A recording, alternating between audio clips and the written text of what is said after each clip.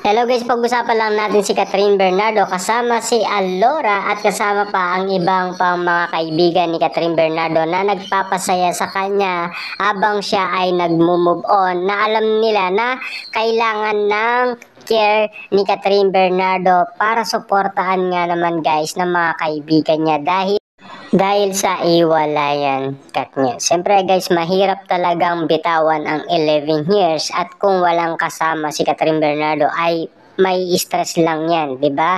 Siyempre guys, no, kaya nga naman nandyan pa rin ang mga kaibigan ni Catherine Bernardo, lalong-lalo na si Alora at iba pang kaibigan ni Catherine Bernardo andang sumuporta para lang makalimot sa mga nakaraan na pinagdaanan ni Catherine Bernardo sa buhay pag-ibig ni Catherine Bernardo.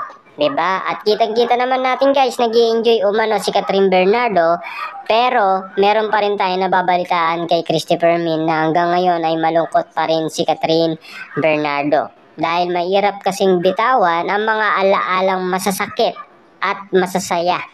ba? Nag-enjoy nga naman sila. Alam naman natin guys, no, kapag ikaw ay kinilig at nagmahal at talagang binigay todo mo ay napakasakit niyan, ba? Kasi 'yan ang ginawa ni Catherine Bernardo sa unang pagmamahal niya kay Daniel Padilla. Parang sinagad lahat ni Catherine Bernardo at wala siyang tinira. 'Di ba? Kaya nga naman napakasakit kung makikita natin si Catherine Bernardo guys, talagang parang lanta, 'di ba? Pumay